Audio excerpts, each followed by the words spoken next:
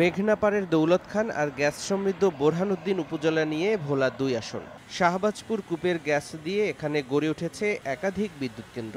আওয়ামী লীগের বর্ষিয়ার নেতা তোফাল আহমেদের নিজ আসন হিসেবে পরিচিত এই আসনটি বেশিরভাগ সময় দখলে রেখেছে আওয়ামী লীগ। নব্বই পরবর্তী পাঁচটি নির্বাচনে শুধু দু হাজার এক সালে বিএনপির হাফিজ ইব্রাহিম বিজয়ী হন। উনিশশো একানব্বই, উনিশশো ছিয়ানব্বই ও দুহাজার আট সালে তোফায়েল আহমেদ ও সবশেষ দু সালের নির্বাচনে তোফায়েল আহমেদের ভাতিজা আলিয়াজম মুকুল নৌকা প্রতীকে বিজয়ী হয়ে বেশ কিছু উন্নয়ন করেছেন। তাই ধারাবাহিক উন্নয়ন আর দলীয় শক্তিশালী অবস্থানের কারণে ভোটাররা আবারও নৌকাকে বিজয়ী করবে বলে মনে করে আওয়ামী লীগ। আমরা সাংগঠনিক শক্তিশালী কাঠামো অবস্থান নিয়ে আছি। এই সিটটি আওয়ামী লীগের এবং আমাদের তৎপরতায় ব্যাপক ভোট সংখ্যা বৃদ্ধি পেয়েছে। আমাদের মাননীয় সংসদ সদস্য মহোদয় এলাকার দলমত নির্বিশেষে ব্যাপক উন্নয়ন করেছেন। উনি দলমত নির্বিশেষে ব্যাপক ভোটের ব্যবধানে উনি বিজয় লাভ করবে। আর মাঠের রাজনীতিতে সক্রিয় না থাকলেও আসনটি পুনরুদ্ধারে নির্বাচনমুখী কার্যক্রম শুরু করেছে বিএনপি।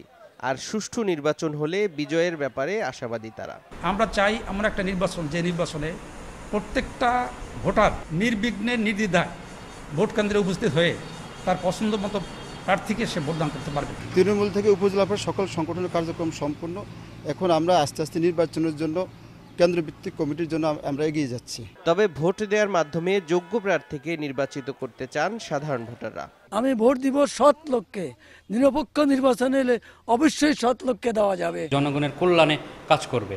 আমরা ওই রকম একজন প্রার্থী চাই। দুই উপজেলার আঠারোটি ইউনিয়ন ও দুটি পৌরসভা নিয়ে গঠিত এ আসনে মোট ভোটার সংখ্যা দু লাখ বিরাশি হাজার। সময় সংবাদ, ভোলা।